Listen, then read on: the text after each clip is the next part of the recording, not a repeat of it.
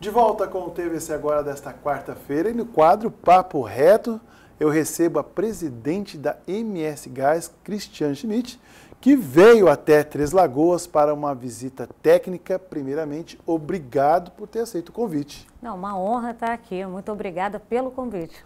Muito bem. E vamos aproveitar para falar desta empresa e deste momento em que vive o Brasil nessa transição da energia, né? Precisamos de novas fontes, mas também do momento em que também em Três Lagoas está vivendo. Presidente, seja bem-vinda mais uma vez. A MS Gás atingiu 20 mil clientes em Campo Grande e Três Lagoas. A senhora que está chegando agora, como é que a senhora faz a projeção para os próximos anos? Olha, mais importante que o que a gente está chegando, que já é para ser comemorado, né, os 20 ou 22 mil, como a gente quer chegar até dezembro, né, de clientes, a gente aqui em Três Lagoas, a gente tem quase que 90% da nossa receita, porque nós temos aqui grandes indústrias. Nós temos 11 indústrias aqui, mais de 100 comércios nós atendemos, 650 moradias aqui. E na área da indústria nós temos duas grandes empresas, né, a Suzano e a Eldorado, que realmente é, representam muito da nossa, do nosso faturamento. Mas mais do que isso, você comentou sobre transição energética. E, de fato, o gás natural ele veio para ficar nessa transição energética. Muito melhor, por exemplo, que o GLP, que é uma fonte que emite muito mais gás carbônico, muito mais poluentes na natureza. Portanto, o gás, o gás natural junto com o biometano, eles estão vindo aqui para poder justamente a gente melhorar o que a gente já tem, né, porque a matriz energética do Brasil ela já é realmente, comparativamente ao mundo, muito limpa, mas a gente quer limpar mais ainda. Né? Então temos aí os corredores, né? os corredores sustentáveis mostram isso, essa, essa tendência, essa pegada de você sair é, do, do diesel, dos caminhões que estão a diesel, para caminhões de gás natural ou do que a gente chama de biofuel, que são os dois combustíveis ao mesmo tempo. Muito bem, a senhora falou de indústrias e aí a primeira pergunta que já vem para nós, o FN3. A Petrobras já anunciou a retomada. A estatal já entrou em contato com a MS Gás sinalizando este abastecimento? Olha, graças a Deus a gente tem aí um projeto, né, que estava 80% dele constru construído e agora parece-nos que a Petrobras, de fato, ela já veio conversar com o governador, o presidente Lula já conversou com o governador, dizendo que eles vão acabar a construção dos 20% que faltam.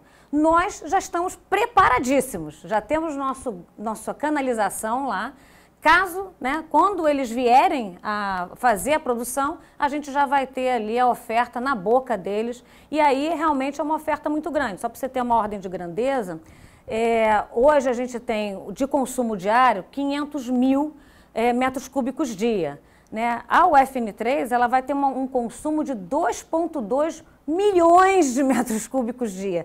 Quer dizer, é uma oferta grande, o que faz com que a nossa empresa consiga gerar muitos dividendos para que o governo possa fazer políticas públicas para a sociedade, né, para os mais vulneráveis principalmente. O que a gente gostaria de saber se a ordem de serviço já foi assinada. Cristiane, ora, porque aí sim teremos a, é. a certeza né, que a UFN3 pararia com essa novela. Pois é, é, não foi assinado ainda, mas a gente tem uma expectativa muito boa de que ela vai começar é, a operar aí em alguns anos, né? É o que a gente espera, é o que Mato Grosso do Sul espera, porque essas, esses grandes empreendimentos trazem desenvolvimento econômico. Né? Então, uma empresa como a MS Gás, o que ela está focada não é só com a lucratividade dela para poder gerar dividendos, inclusive para o maior acionista, que é o governo, mas também pensando na transição energética, energética, que foi o que nós comentamos, mas no desenvolvimento econômico do Estado. Porque a gente traz uma maior competitividade para as indústrias, para o comércio, quando a gente tem um insumo mais barato, que no caso seria aí o gás natural. Agora, presidente, como é que está o fornecimento deste gás natural? No passado tivemos um problema na Bolívia, né? e a gente sabe que esse gás vem todo ele canalizado. A situação real hoje, não, a gente, o nosso suprimento continua sendo é, muito em função da Bolívia. Né? Só que, obviamente, a gente está agora tentando uma diversificação com combustível, é, com, com o GNC, que seria o gás natural, é, é, é como se chama? Em, é, comprimido, o gás natural comprimido. Então, com o gás natural comprimido, a gente pode, via os corredores, trazer gás natural comprimido de outros lugares, ou gás natural liquefeito, que também podemos usar ali quando vem desde o porto, né? Vem desde o Porto de Santos e corre por, é, por São Paulo, entra em Mato Grosso do Sul, é uma outra forma da gente poder e isso ter uma oferta. mais caro? Não, a, a, assim, tudo que a gente tenta fazer, a gente faz sempre uma compra, né, é, é, num leilão, em que a gente tenta sempre conseguir o melhor preço para poder botar o melhor preço na mão do cliente.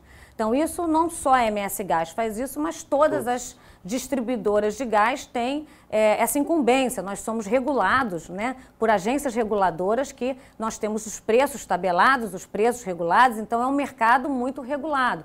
Então, o gás natural é uma commodity como outra qualquer, em que seu preço é balizado não só pelo preço que vem de fora, mas também pelas condições de, da, internas né, de transporte, o custo de transporte é, da, da Petrobras, no nosso caso, que é a TBG, e de outros custos adicionais. Muito bem. Vamos falar de projetos. A MS Gás, como a senhora mesmo disse, fornece esse combustível para as indústrias. Sim. Mas também tem a mira no público, né? comércio, Sim. residências. Gostaria que o senhor falasse, em especial para Três Lagoas. Já sabemos que fornece gás para as escolas estaduais. Sim, nós fornecemos aqui em Três Lagoas para cinco escolas e pretendemos fornecer para mais cinco escolas. É, essa é uma política, inclusive, junta com o governo do estado, que quer fornecer uma, não só pela pegada da transição energética, não sei se, se o público sabe, mas Mato Grosso do Sul está na frente dos demais estados em termos da transição energética. Nós vamos ser carbono neutro em 2030, que é uma meta que só Mato Grosso do Sul tem. Né? Campo Grande também está né, tá com uma meta bem arrojada para 2050 com a ajuda do BID. Então, esse é um tema que ele sempre vai estar tá inerente no nosso dia a dia. Então, obviamente que a gente quer chegar nos lares, né, aqui de também, daqui a gente já chegou a 650 unidades, mas a gente quer chegar em mais unidades, em todo o comércio, porque a gente entende, é, é gente não, a ciência mostra que o gás natural é um, é um produto muito mais limpo que o é, que o, aquele botijãozinho que você tem lá no, na sua residência. Então, vale mais a pena você olhar com mais carinho para a questão do gás natural. Não só porque ele é mais eficiente, que ele vai te dar uma melhor energia na sua casa, mas também por uma é, pela transição energética, por essa economia mais limpa. Olha só o que, que a gente está vivenciando, né? Exatamente. Esse problema todo, desses incêndios todos, isso tudo vem de um problema climático mundial, não é só do Brasil. Mas aqui no Brasil, a gente está tentando fazer aí o nosso dever de casa, né? E tudo está ligado nessas condições climáticas, como a presidente mesmo disse, a Cristiane Schmidt. Corredor Azul visa incentivar o consumo de gás em veículos de passeio e de transporte. Como Sim. é que ele vai funcionar? Vai funcionar da seguinte maneira: é, você tem o gás, né, que está ali dentro dos nossos dutos. Esse gás, ele vai ter, que é um duto grande, e ele vai ter um ramal menor ligado a um determinado posto. Assim vão ter outros ramais né, ao longo de uma grande rodovia, que é o que a gente chama de uma rodovia azul, né, de uma via azul né, de, de, do que a gente chama da, é, de um caminho que é energeticamente sustentável. Você vai ter vários postos como esse aqui em Três Lagoas. A gente vai inaugurar um em dezembro de 2024. Então, pois bem, quando o gás está lá num duto grande, vai ter um ramal que vai vir para este posto que vai estar tá aqui é, em Três Lagoas. Um automóvel, tanto de passeio, né, como um caminhão, ou como o ônibus que está aqui né, no transporte urbano, vai poder chegar ali e vai poder é, colocar esse gás dentro do seu é, veículo. Como? Comprimindo esse ar. Então, nós temos, já temos, fizemos um investimento grande de um milhão de reais aqui para que nós, nós compramos esse compressor para pegar esse gás que vem do duto desse ramal, comprimir e poder colocar dentro do veículo. Muito bacana. Infelizmente, o nosso tempo é curto, temos muitas coisas ainda para falar. De antemão, já deixo aqui o convite da próxima vez que a senhora vir até Três Lagoas, tá? Por favor, nos informe para a gente conversar e falar mais sobre esse projeto, justamente pelas condições dessa transição Sim. em que o Brasil precisa realmente mudar, virar a chave para combustíveis mais limpos. Obrigado pela sua presença. Muito obrigada e ó, convite aceito. Todo mundo está ouvindo aqui, convite aceito.